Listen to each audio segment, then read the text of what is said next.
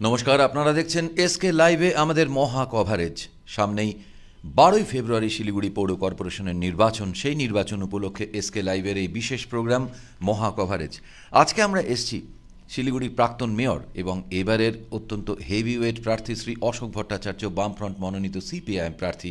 উনি দাঁড়িয়েছেন ছ নম্বর ওয়ার্ড থেকে। ছ নম্বর ওয়ার্ডে উনি বিগত দিনে কাউন্সিলর ছিলেন এবং মেয়রও ছিলেন। অশোকদা অনেক ধন্যবাদ আমাদের সময় দেওয়ার জন্য। প্রথম প্রশ্ন যেটা করছি একটু অন্যরকম, সেটা হচ্ছে যে বৌদি চলে যাওয়ার পরে আমরা যেটা শুনেছিলাম যে, আপনি মোটামুটি রাজনীতি থেকে অবসর নিচ্ছেন বা সেইভাবে কোনো ভোটে দাঁড়াবেন না। পরবর্তীকালে আমরা জানি বিভিন্ন প্রচার মাধ্যমের মাধ্যমে যে, প্রাক্তন মুখ্যমন্ত্রী বুদ্ধদেব ভট্টাচার্যের সঙ্গে আপনার ফোনে কথা হয়েছিল। তো সেই থেকেই কি সিদ্ধান্ত পরিবর্তন, নাকি না শিলিগুড়ি নাগরিকদের স্বার্থে? না, প্রথম কথা হচ্ছে রাজনীতি থেকে অবসর নেওয়ার কথা কোনোদিনই বলিনি। আমি বলেছিলাম একটা চ্যানেল বা একটা বোধহয় সাংবাদ সাংবাদিক একজন যে নির্বাচনে আর দাঁড়াবো না। এই কথাটা আমি বলেছিলাম। কিন্তু পরবর্তীকালে যখন পৌর কর্পোরেশনের শিলিগুড়ি পৌর কর্পোরেশন নির্বাচন যখন আসে তখন আমাদের পার্টির পক্ষ থেকে সিদ্ধান্ত হয় যারা গতবার জিতেছেন তাদের প্রত্যেককেই যদি সিট থাকে তাহলে প্রত্যেককেই প্রার্থী করা হবে। এবং প্রত্যেককেই, বিশেষ করে নেতৃত্বকে লড়তে হবে। কারণ আমরা প্রথম থেকেই বলেছিলাম সিরিয়াসলি আমরা লড়ব এবং এই ভোটের নির্বাচনে জয়ী হয়ে শিলিগুড়ি একটা পথ দেখাবে, নতুন পথ দেখাবে পশ্চিমবঙ্গে, যেটা দু হাজার পনেরো সালে দেখিয়েছিল। তো সেই জন্যে পার্টি সিদ্ধান্ত নেয় যে যারা ছিল নেতৃত্ব তারাই থাকবে, বিশেষ করে আমাকে আরও বিশেষভাবে বলা হয়। তারপরে রাজ্য সম্পাদক, তিনিও তার বক্তব্যের অনুমোদন অনুমোদন করে যে হ্যাঁ এটা আপনি দাঁড়ান আপনাকে দাঁড়াতে হবে। বুদ্ধদাও চেয়েছেন যাতে আমি এই নির্বাচনে প্রতিদ্বন্দ্বিতা করি। সবটা নিয়ে শিলিগুড়ির নাগরিকদের এটাই আরও অনেক ধরনের নাগরিক যারা রাজনীতি করে না তারা একটা কথাই বলেছেন দেখুন আপনার সময় শিলিগুড়ি যে উন্নতি হয়েছে আপনার পরে কেউ কি কোনো রাজনৈতিক দলের কেউ কোনো শিলিগুড়িতে সে উন্নয়নের কাজ কি করতে পেরেছে? ওদের বক্তব্য যে পাইনি সেই জন্য শিলিগুড়িকে যদি এগিয়ে নিয়ে যেতে হয় তাহলে অনেক অনেকেই বলেছে আপনার কোনো বিকল্প নেই। অশোকদা এখান থেকে আমি আপনাকে একটু অন্যভাবে প্রশ্ন করতে চাইছি যে একটা আপনার জেতার পরে একটা অশোক মডেল সারা রাজ্যব্যাপী ছিল। এবং আপনাকে আপনি বললেন যে শিলিগুড়িকে এগিয়ে নিয়ে যে যাবার ক্ষেত্রে আপনার অবদান আছেন। কিন্তু বিরোধীদের অভিযোগ যে আপনি সেইভাবে পৌর প্রশাসক হিসেবে বা মেয়র হিসেবে আপনি সেইভাবে কাজ করতে পারছেন না বা পারেননি। মানবেন? কেন মানব? পৌর প্রশাসক মানেটা কি? পৌর প্রশাসক একটা আমলা, আমলাতন্ত্র, একটা এসডিও বা একজন ডিএম বা একজন পুলিশ কমিশনার, তিনি লাঠি নিয়ে প্রশাসন পরিচালনা করতে পারেন। কিন্তু একজন পৌরসভার চেয়ারম্যান বা মেয়র, তিনি কখনো লাঠি নিয়ে শক্ত হাতে প্রশাসন পরিচালনা করতে পারে না। তাকে হতে হবে অনেক বেশি গণতান্ত্রিক এবং তাকে হতে হবে অনেক বেশি অ্যাক্সেসেবল অ্যাপ্রোচেবল অ্যান্ড অ্যাভেলেবেল এবং তাকে বিভিন্ন তিনি আমি যখনই কেউ এই পোস্টে বসবে তখন তাকে কিন্তু শুধু একটা দলের স্বার্থ দেখলে চলবে না। যে শহরে তিনি মেয়র সেই শহরের স্বার্থটাই দেখতে হবে। অনেক মত যে ডেমোক্রেসি মানেটা কি? গণতন্ত্রে কখনো যদি ডিসেন্ট যদি অন্য ভিউস অন্য একটা মত সেই মতটাকে যদি আমরা মিনিমাম যে আমি আমরা যদি আমি যদি না শুনি বা কোনো গুরুত্ব যদি আমি না দেই তাহলে গণতন্ত্র কখনো সফল হতে পারে না। তো সেই জন্যে আমি মেয়র হিসাবে কাজ চালিয়েছি, লড়াইও করেছি, দাবি আদায়ও করেছি, কাজও করেছি, উন্নয়নের প্রতিবাদও করেছি। আবার সবাইকে নিয়ে চলারও চেষ্টা করেছি। এই এই চমৎকার কথাটা বললেন এবং আপনার কথায় আমরা জানতে পেরেছি, যখন আপনি পৌরমন্ত্রী ছিলেন, তখন বিরোধী দলের যে পৌরসভাগুলো ছিল, সেখানে আপনি সহযোগিতা করেছেন। কিন্তু উল্টো দিক থেকে আবার এই প্রশ্নটাও আসে যে আপনি বিভিন্নবার বলেছেন যে সরকার থেকে সেইভাবে মানে বর্তমান সরকার, সেইভাবে আপনি মেয়র থাকাকালীন আপনার সঙ্গে সহযোগিতা করেনি বা ফান্ড অ্যালোকেশন করেনি। এটা সত্যি? অবশ্যই। সত্যি কথা সত্যি হয়তো বলতে হবে। কারণটা হচ্ছে আবার আদায়ও করতে হবে। এই যে পৌরসভাটা কি, এটা তৃতীয় স্তরের সরকার থার্ড টায়ার অফ গভর্নমেন্ট এই কয়েকদিন আগে রিজার্ভ ব্যাঙ্ক অফ ইন্ডিয়া একটা রিপোর্ট পেশ করেছে দু হাজার কুড়ি একুশের যে বাজেট ছিল কেন্দ্রীয় সরকারের তার ওপরে একটা স্টাডি করেছে। স্টাডি করে তারা বলেছে যে ভারতবর্ষে এই যে এই যে প্যান্ডামিক জনিত যে সিচুয়েশান এই সিচুয়েশান সবচাইতে বেশি ফেস করেছে কারা? থার্ড টায়ার অফ গভর্নমেন্ট পৌরসভা এবং পঞ্চায়েত। স্বাভাবিকভাবে পৌরসভাগুলিকে হচ্ছে ফ্রন্ট লাইনে ছিল এই এই এই এই কাজ মোকাবেলা করার ক্ষেত্রে। কিন্তু কেন্দ্র এবং রাজ্য সরকার যথাযথ সহযোগিতা এই পৌরসভাগুলোকে করে নেই। এটা হচ্ছে রিজার্ভ ব্যাংকের কথা। দুশো একুশটি পৌর কর্পোরেশনের উপরে তারা স্টাডিটা তারা মানে এটা কি রাজনৈতিক বিরোধিতার কারণে? রাজনৈতিক বিরোধিতার কারণে আর অনেকটা বলতে পারি থিওরিটিক্যাল তাত্ত্বিক কারণে। অর্থাৎ এরা বিশ্বাসই করে না। এই প্রথম প্রশ্নটা যেটা আপনি করলেন না সেই প্রশ্নটারই জের ধরে আমি বলছি ওরা বিশ্বাসই করে না। ওরা মনে করে যে পৌরসভা মানেটা হচ্ছে একটা প্রশাসক সেখানে একটা সরকারি একটা দপ্তর। এখানে মানে এখানে ঢুকতে গেলে পুরো পুলিশ দাঁড়িয়ে থাকবে তাকে সার্চ করবে তারপরে তাকে সে ঢুকবে বা ঢুকতে দেওয়া হবে না। এটা তা নয়। পৌরসভা মানেটাই হচ্ছে গণতান্ত্রিক বিকেন্দ্রীকরণ। এই গণতান্ত্রিক বিকেন্দ্রীকরণের যে বিষয়টা এটাকে যদি সফল করতে হয় তাহলে কেন্দ্রীয় সরকারকে যেমন রাজ্য সরকারকে আর্থিক সহযোগিতা করতে হয়, রাজ্য সরকারকেও ঠিক তেমনিভাবে পৌরসভাগুলিকে সহযোগিতা করতে হয়। দেখা গেছে যে পৌরসভাগুলির, আমাদের দেশের, ওই রিপোর্টে যেটা পাওয়া গেছে, পৌরসভাগুলির কাজ বেড়েছে সেভেন্টি পার্সেন্ট কাজ বেড়েছে। অথচ তাদের নিজস্ব আয় কমেছে। আর সেভেন্টি পার্সেন্ট মানে খরচ খরচ বেড়েছে, কিন্তু আয় বাড়েনি। তাহলে এই টাকাটা যেমন বলা হয়েছে তাদেরকে, যেমন ইনকাম ট্যাক্স আদায় করে, বা কেন্দ্রীয় সরকারের যত আয় হয়, বা রাজ্যগুলি যত আয় হয়, তার নাইনটি পার্সেন্ট শহরগুলি থেকে হয়। জিডিপি গ্রস ডোমেস্টিক প্রোডাক্টের টু থার্ড দুই তৃতীয়াংশ আসে হচ্ছে শহরগুলি থেকে। তাহলে সেই শহরগুলিকে আমাদের seventy fourth constitution amendment act চুয়াত্তরতম সংবিধান সংশোধনী অনুযায়ী প্রত্যেকটা রাজ্য যেমন কেন্দ্রীয় সরকারের সাহায্য আর্থিক সাহায্য পেতে বাধ্য ঠিক তেমনিভাবে পৌরসভাগুলিও সেক্ষেত্রে আপনার সরকারের সহযোগিতা পেতে বাধ্য। তাহলে আমি এই কথাটা বলেছি শুধু আমার জন্য না এটা দেশের জন্য বলেছি রাজ্যের জন্য বলেছি। রাজ্যের প্রতিটা পৌরসভার জন্য অশোকদা আপনি একটা কথা বললেন যে আয়ের ব্যাপারটা আপনাদের একটু নজর দিতে হবে বা আয় সেইভাবে হচ্ছিল না। আমি আপনার ওয়ার্ড সম্পর্কে এর পরের প্রশ্নে আসব, কিন্তু একটা বিষয়ে মানুষের অভিযোগ বলব, বিরোধীদের অভিযোগ বলব না এটা, যে পৌরসভায় একটা দালাল চক্র আছে, সেখানে ডেথ সার্টিফিকেট ট্রেড লাইসেন্স ইত্যাদি দিতে গেলে নানান রকম হয়রানি বা পয়সা চাওয়া হয়, এই সম্পর্কে কি বলবেন? আমরা যারা আমরা একটা ম্যানিফেস্টো প্রকাশ করেছি। আমরাই প্রথমে ম্যানিফেস্টো প্রকাশ করেছি ডিজিটাল ম্যানিফেস্টো পরে এটাকে আমরা প্রিন্টিং হার্ড কপি বের করেছি। সেই ম্যানিফেস্টোতে কিন্তু আমরা পরিষ্কার করে আমরা এটা বলেছি পৌরসভা যেমন গণতান্ত্রিক বিকেন্দ্রীকৃত করা হবে, পৌরসভা মানুষের প্রবেশাধিকার খুব অ্যাক্সেসিবল থাকবে, মানুষ আসতে পারে। ঠিক তেমনিভাবে আমরা একথাও পৌরসভা সম্পর্কে বলতে গিয়ে আমরা যেটা বলেছি, সেটা হচ্ছে পৌরসভাতে কোনো রকমভাবে আমলাতান্ত্রিকতাটাকে গুরুত্ব দেওয়া হবে না। গণতান্ত্রিক ব্যবস্থাটাকে গুরুত্ব দেওয়া হবে। কোনো ধরনের মানুষ যাতে হয়রানি না হয় মানুষকে নিয়ে দালাল চক্র না থাকে। এটা ইদানিং বেড়েছে, এই দালাল চক্র। কোনোভাবেই যেন মানুষ হয়রানি না হয়, দালাল চক্রের দ্বারা তারা প্রতারিত না হয় এবং তার সাথে সাথে মানে পরিষেবা নিয়েও যেন অহেতুক হয়রানি না হতে হয়। এই দিকটাই হচ্ছে আমরা সবচাইতে বেশি গুরুত্ব দেব। অশোকদা ইদানিং মানে বিধানসভা নির্বাচনের পরে আপনাদের কমিউনিস্ট পার্টি অফ ইন্ডিয়া বা সিপিএম থেকে বহু আপনার দীর্ঘদিনের সহকর্মী যারা ছিলেন অনেক দিন ধরে কাউন্সিলর ছিলেন তারা দল বদলে অন্য বিরোধী দলে চলে গেছে। সেটা কি কোনো প্রভাব ফেলবে আপনাদের এই পৌর নির্বাচনে? কোনো প্রভাবই ফেলবে না। আমি তো এটা লিখে দিলাম। যারা দাঁড়িয়েছেন দল পরিবর্তন করে দল বদলু যারা দোজার দল বদলু বলা হয় পার্টি পরিবর্তন করে তারা এবারে নির্বাচন জিততে পারবেন না এবার সেখানে আমরা জয় হব। কিন্তু সেখানে অনেক মানে পুরনো হেভিওয়েট প্রার্থী যত হেভিওয়েটই থাকুন না কেন মানুষ দল বদলুতে পছন্দ করে না। মানুষ একটা কেউ একটা নীতির উপরে থাকুক। আমি তো হেরে গেলাম। আমাদের তো সবাই হেরেছে এবারে তবে কি আমি এই যে আমরা মানুষের সঙ্গে নেই মানুষের সঙ্গে তো আমরাই আছি। এই যে যেদিন আমরা হারলাম তার পরের দিন থেকেই আমাদের রেড ভলেন্টিয়াররা রাস্তায় নেমে গেছে। একদিনের জন্য তো বাড়িতে বসে থাকেনি।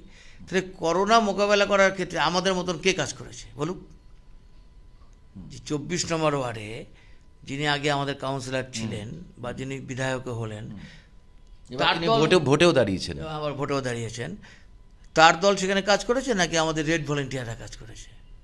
ঠিক তেমনিভাবে প্রত্যেকটা জায়গাতেই এই আমাদের ছ নম্বর ওয়ার্ডে ওই রেড ওই রেড ভলেন্টিয়াররা যা কাজ করেছে বাড়িতে আমরা নিজে থেকে স্প্রে করা স্যানিটাইজ করা খাবার দেওয়া হাসপাতালে নিয়ে যাওয়া জলের ব্যবস্থা করে দেওয়া সব কাজ করেছি আমরা এই সময়তে ছ নম্বর ওয়ার্ডে আপনি গতবারেও বিজয়ী হয়েছিলেন এবং ছ নম্বর ওয়ার্ড সম্পর্কে যতটা আমাদের ধারণা সেটা হচ্ছে বিশেষ করে মুসলিম ধর্মাবলম্বী মানুষের ভাই বোনেদের ওখানে বাস বেশি। সেক্ষেত্রে এবারে এই পরিবর্তিত পরিস্থিতিতে কীরকম সাড়া পাচ্ছেন? খুব ভালো উভয়ের মধ্যেই। এখানে মানুষ কিন্তু কে হিন্দু কে মুসলমান এটা দেখছে না। তারা একটা জিনিসই দেখছে যে কে কাজ করেছে কাকে দিয়ে কাজ হতে পারে এবং শিলিগুড়ির উন্নয়নের কাজই বা কারা করেছে। এই প্রশ্নেই মানুষ সেখানে ভোট দিচ্ছে। এখানে বিজেপিও কোনো ফ্যাক্টর নয়। ওখানকার যেমন সংখ্যালঘু মানুষের মধ্যে বিজেপি সম্পর্কে ভীতি আছে। ভীতি থাকাটাই স্বাভাবিক। বিজেপি খুব আগ্রাসী পার্টি এবং বিজেপি সাম্প্রদায়িক সম্প্রীতিটাকে নষ্ট করতে চায়। কিন্তু ছ- ছ নম্বর ওয়ার্ড বা শিলিগুড়ির এবারে নির্বাচনে আমার তো মনে হয় বিজেপি চার পাঁচটা বেশি আসন পাবে না। কোনো জায়গায় বিজেপি আমাদেরকে সেই চ্যালেঞ্জ ছুড়ে দিতে পারেনি। না সেক্ষেত্রে খুব ভালো ভালো পয়েন্টটা এসছেন। সেক্ষেত্রে আপনার ওয়ার্ডে আপনি মূল প্রতিদ্বন্দ্বী কাকে ভাবছেন টিএমসি না বিজেপি না কংগ্রেস? না এখানে টিএমসির একটা শক্তি আছে আবার একটা কংগ্রেসের একটা শক্তি আছে। বিজেপি সেরকম কোনো শক্তি নেই। আপনাদের সঙ্গে গত বছর গত গত পুরো বোর্ডে কংগ্রেসের একটা অ্যালায়েন্স ছিল। সো সেক্ষেত্রে এবার আমরা পত্রপত্রিকাতে দেখেছি আপনাদের অনেক মিটিং হয়েছে। সেখানে কি কোনো বোঝাপড়ার অভাবে এবার অ্যালায়েন্সটা হলো না? এবং সেইটা এই যে অ্যালায়েন্সটা হলো না তাতে করে কি এককভাবে পুরো বোর্ড গঠন করবার ক্ষেত্রে কোনো প্রতিবন্ধকতা আসতে পারে? দেখুন আমরা অ্যালায়েন্সটা আন্তরিকভাবে চেয়েছিলাম। অ্যালায়েন্স বলতে একটা বো- বোঝাপড়া। এই বোঝাপড়াটা আমরা চেয়েছিলাম আলোচনার তিন চারবার হয় তারপরে আলোচনাটা ভেঙে যায়। কিন্তু আলোচনা ভেঙে যাওয়ার পরেও কিন্তু আমরা কংগ্রেসের চারটা আসনে কংগ্রেসকে সরাসরি সমর্থন করছি। লিফলেট দিয়ে সমর্থন করছি। আমাদের কর্মীরা তাদের হয়ে কাজও করছে।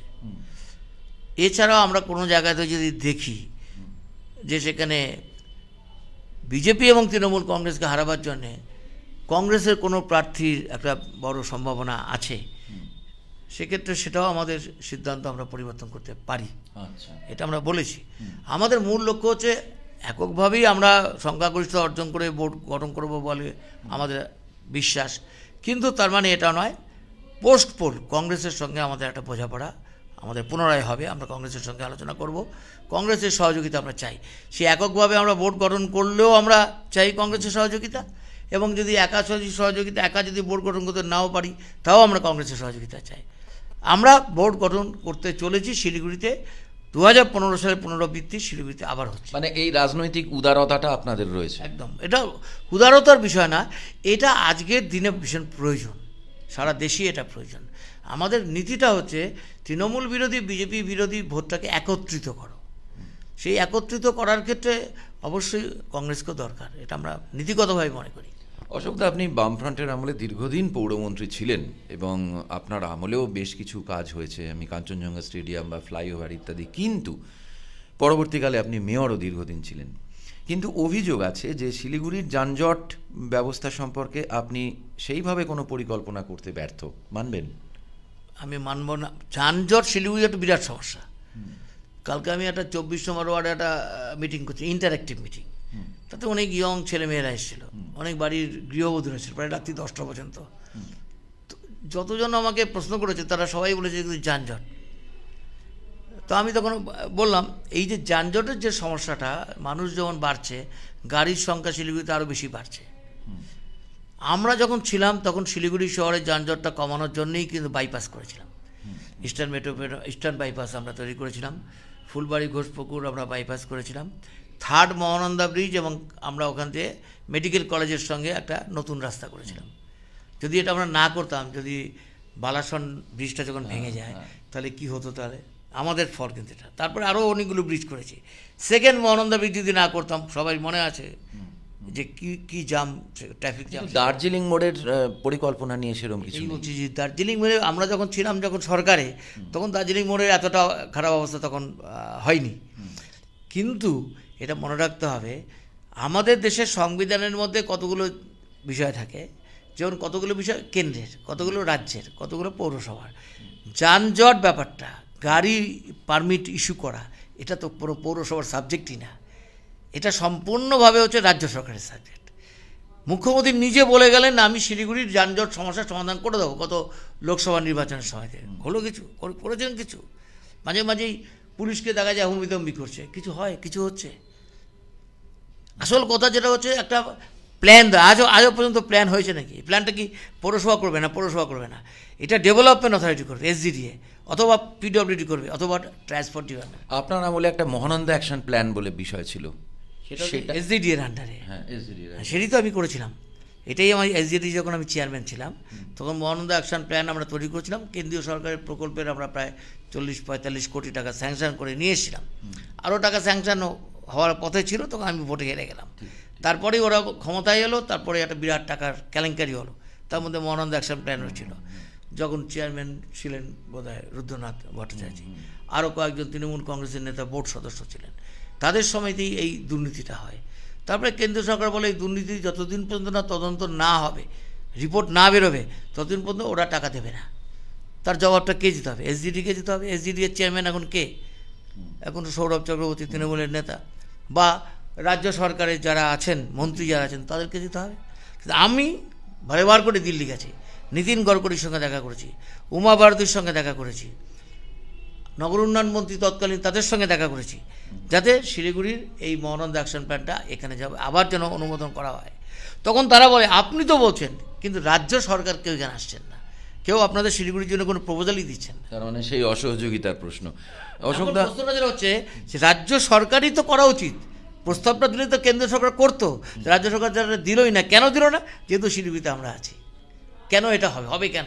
কি কারণে? নদীটা যদি সংস্কার হয় আর নদীর যদি দূষণ মুক্ত হয় তাহলে কি শুধু সিপিএমের লোকেরা উপকৃত হবে? সবাই তো উপকৃত হবে তার দ্বারা। আমি বলছি একটা কথা শিলিগুড়িকে ভালোবাসি আমি। আমার রাজনৈতিক পরিচয় যাই থাকুক না কেন এখানে আমার জন্ম এখানে আমার শিক্ষা এখানে আমার সমস্ত জীবন রাজনৈতিক জীবন সাংস্কৃতিক জীবন সবটাই শিলিগুড়িতে। সেই শিলিগুড়িকে ভালোবাসি। ওদের শিলিগুড়ির প্রতি কোনো ভালোবাসা নেই টান নাই।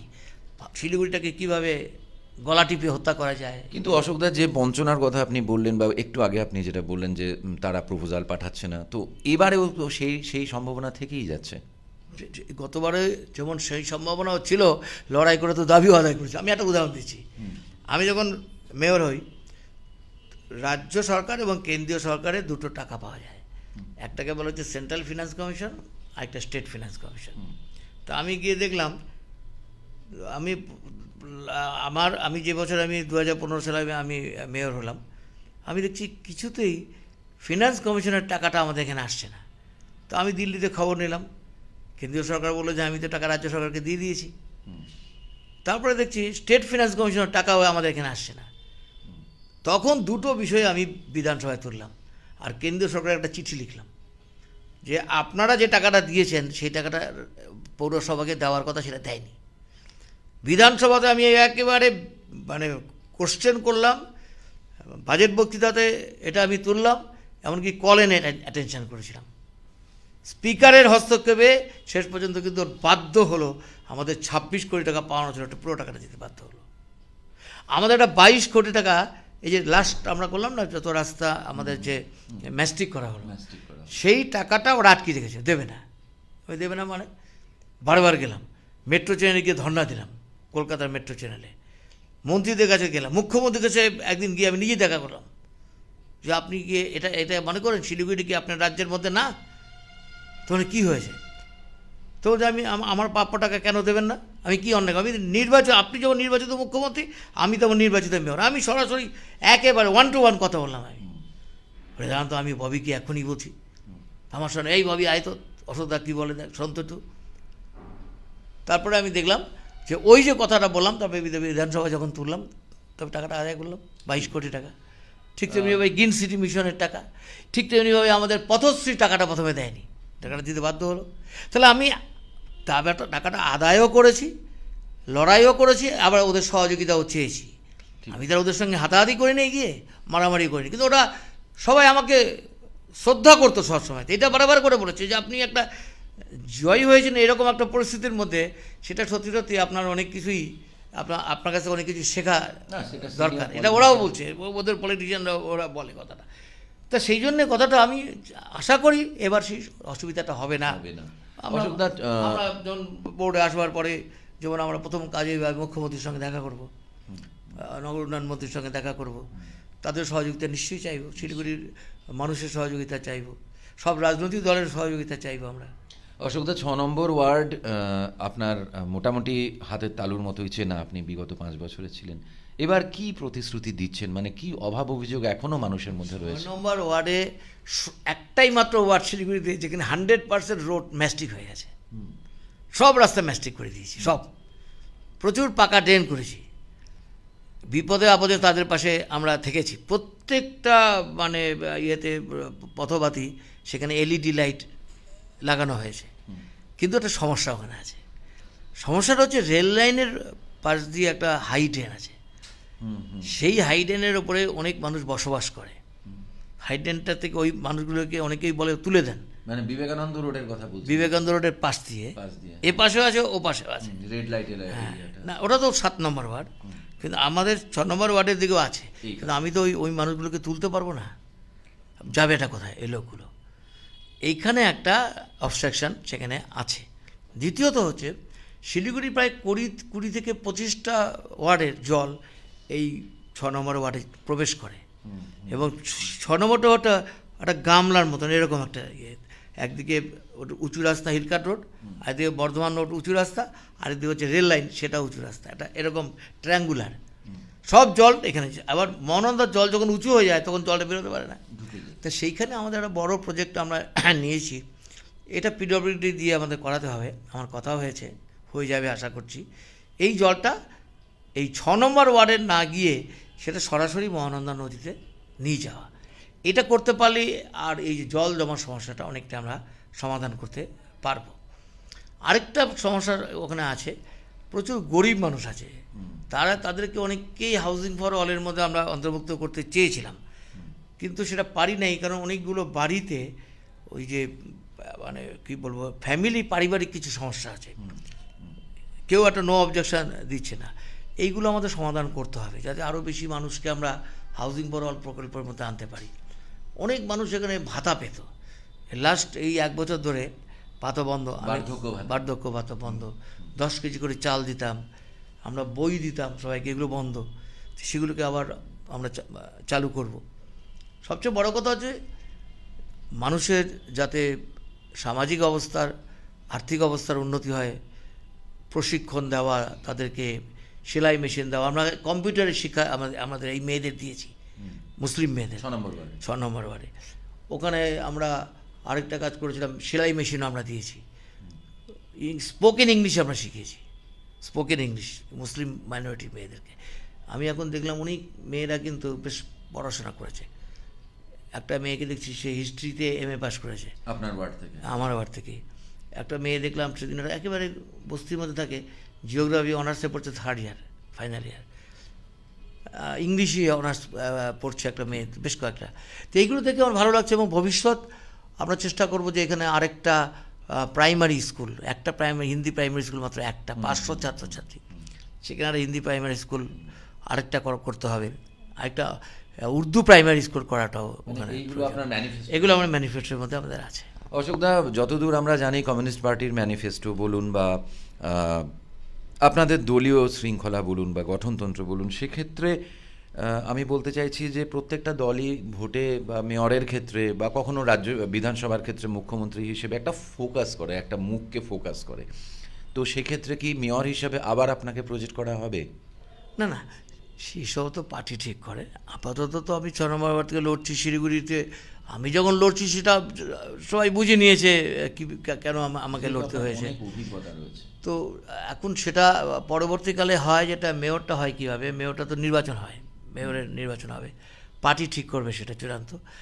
তবে আমি যখন প্রতিদ্বন্দ্বিতা করছি, সেটা মানুষ হয়তো ধরে নিয়েছে। মানুষও সেটা চাইছে। মানুষ যদি সেটা, মানুষ যদি চায়, আর যদি পার্টি আবার যদি নির্বাচনের পরে সিদ্ধান্ত নেয়, তাহলে সেই দায়িত্ব যদি আমার উপরে দেয়, সেই দায়িত্ব নিতে হবে। পার্টির স্বার্থে, জনগণের স্বার্থে, শিলিগুড়ির মানুষের স্বার্থে।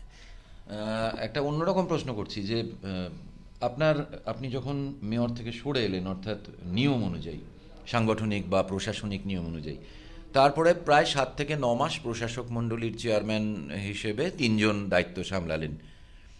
এই কাজের, এই এই যে টেনিওরটা এই টেনিওরটা সম্পর্কে কি বলবেন? মানে শিলিগুড়ির অগ্রগতিটা কি ডাউন হয়ে গেল? একদম। গণতান্ত্রিক ব্যবস্থা যদি না থাকে ডেমোক্রেটিক সিস্টেম গণতান্ত্রিকভাবে নির্বাচিত পৌরসভা যদি না থাকে উন্নয়ন ক্ষতিগ্রস্ত হতে বাধ্য।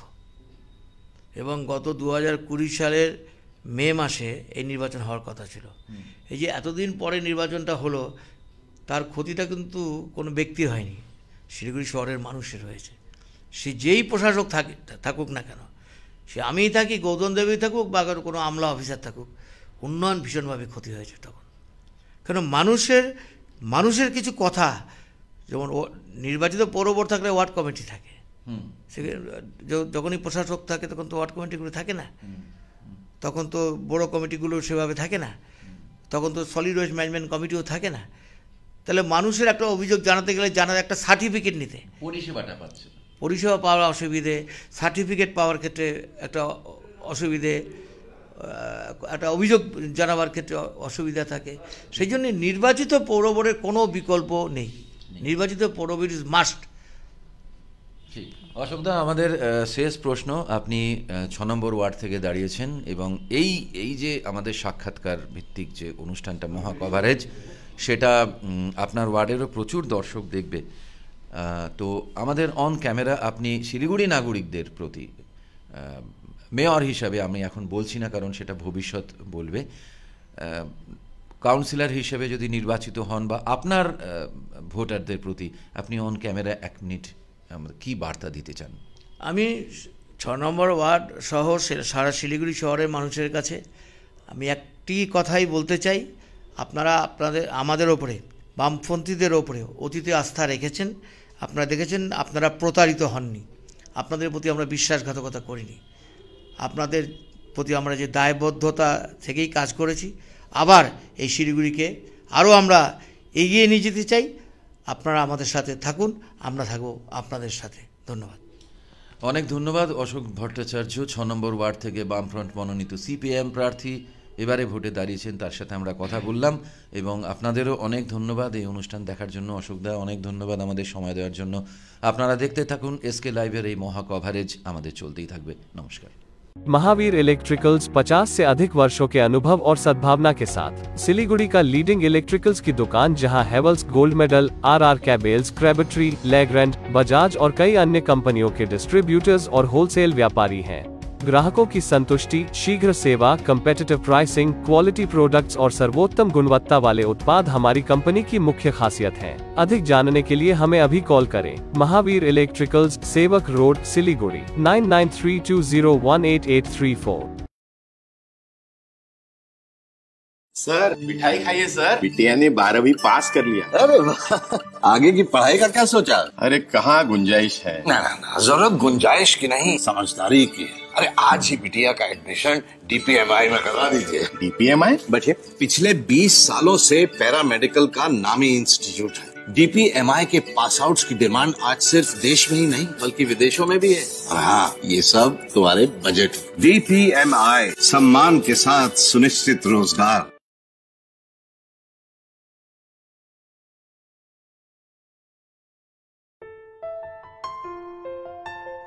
सपनों से भी सुंदर घर हो अपना। पी आर एम बेगराज पूरा करेगा सपना।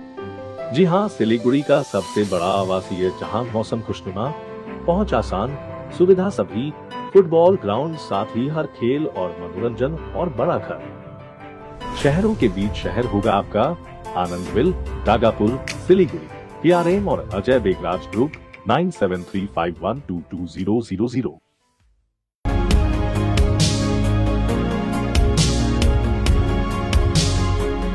Make a successful career in nursing is now possible. Mm-hmm. Med Studies is making this possible. I would like to tell all the students out there not to miss out such an great opportunity and enroll with Med Studies. Thank you.